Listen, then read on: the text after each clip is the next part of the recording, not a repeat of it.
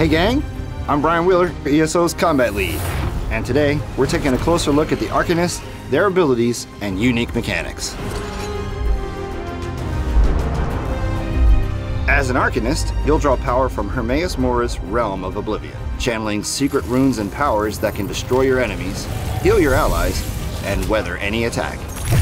As the new Elder Scrolls Online class, the Arcanist empowers you with three skill lines each made up of five abilities, four passives, and an ultimate. Like other classes we've introduced since ESO's launch, each individual skill line reinforces a style of play damage, healing, or defense. But as always, you can mix up your abilities to create your ideal playstyle. Drawing power from Apocrypha in the form of destructive rune blades, powerful energy beams, and more, the Herald of the Tome skill line emphasizes damage above all else. For example, Abyssal Impact fires off tentacles straight from your arm, dealing hefty damage and applying a debuff to your enemies. The Herald of the Tome's ultimate ability, the Unblinking Eye, is even more powerful, calling forth one of the many eyes of Hermaeus Mora to dish out area damage to anyone caught in its gaze.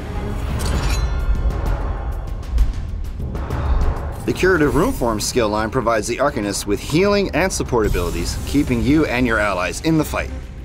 Rune Mend is one such ability, restoring health to an ally with arcane words of power. This skill line also includes the Apocryphal Gate ability, which summons a pair of portals you can teleport between.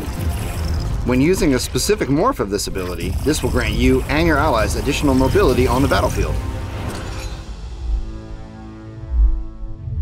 The Soldier of Apocrypha skill line provides a host of defensive tools to your Arcanist, helping you survive the dangerous world of Tamriel and confound your enemies. Runic Jolt, for example, deals damage and taunts your enemy, ensuring you remain in control of the fight.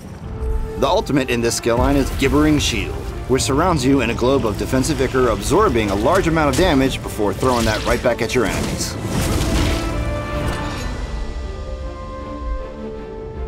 In addition to a powerful collection of abilities, the Arcanist also utilizes a new combat mechanic, the Crux system. When you use Arcanist abilities in combat, some will generate Crux while others will spend it. When you activate an ability that spends Crux, you'll get bonus modifiers on that ability. This can include doing more damage, reducing resource cost, or other unique enhancements. You can generate and save up to 3 Crux at any time, and when any ability consumes your active Crux, the greater its effect.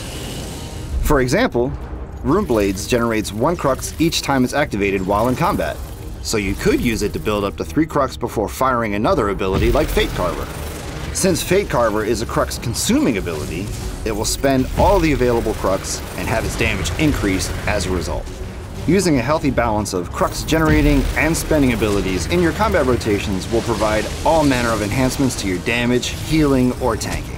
But note while Crux is tied to how effective and efficient your Arcanist can be, it's not required to enjoy playing this new class.